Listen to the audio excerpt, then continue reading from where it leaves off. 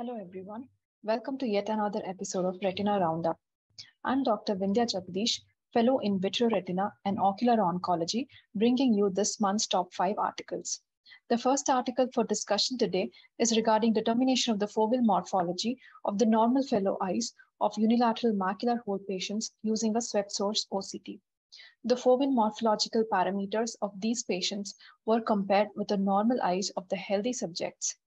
They found out that the normal fellow eyes of the macular hole patients had a thin central retina, a thin fovea, a wide foveal floor width, a thin outer nuclear layer, a thick outer retina, thus making a thin, wide, and a deeper fovea to be more fragile and more susceptible to the tractional changes occurring during PVD.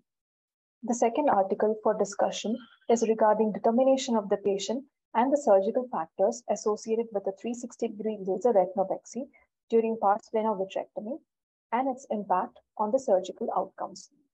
The study included 192 subjects who underwent pars plana vitrectomy, of which 130 patients received 360 degree lasers and the rest of them received a limited laser. The 360 degree laser group were associated with the patients who had worse preoperative visual acuity, male subjects, more complicated cases with a higher grades of PVR, and associated scleral buckle use. To our surprise, the 360 degree laser did not have any impact on the surgical outcomes like single surgery anatomical success or postoperative visual acuity. And it was not associated with any of the significant complications like epiretinal membrane or cystoid macular edema either.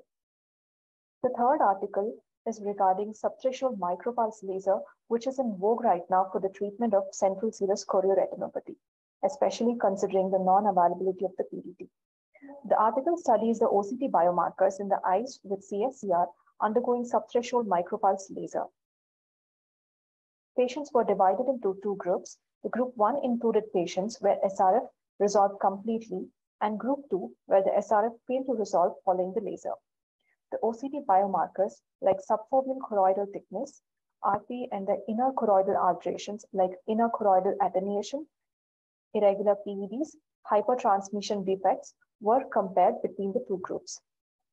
Thicker subfoveal choroid and RPE and the inner choroidal alterations were found to be the negative biomarkers for SRF resolution following the subthreshold micropulse laser in this study. The fourth article is regarding therapeutic effect of intravitreal pegcetacoplan on photoreceptor maintenance in geographic atrophy due to dry AMD.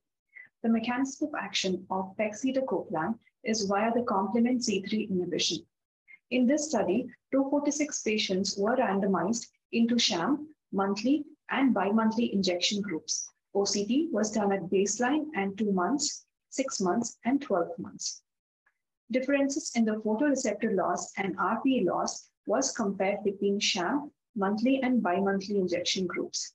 Statistically significant slower photoreceptor and RPE loss was noted in monthly injection group compared to the sham using a deep learning based algorithms on OCT. But is this slow progression visually significant enough to have a better quality of life?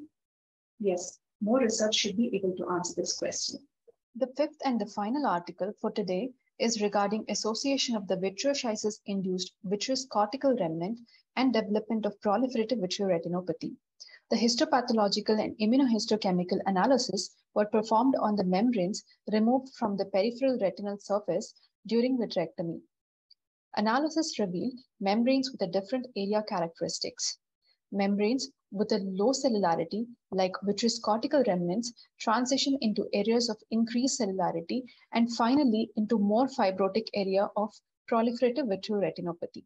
Based on this, a histopathological staging of development of proliferative vitreoretinopathy from vitreous cortical remnants was developed, thus confirming that vitreous cortical remnant as a risk factor for PVR formation. Hence, its prompt removal is warranted during vitrectomy. So that's all for today. See you next month with five more interesting articles. Thank you.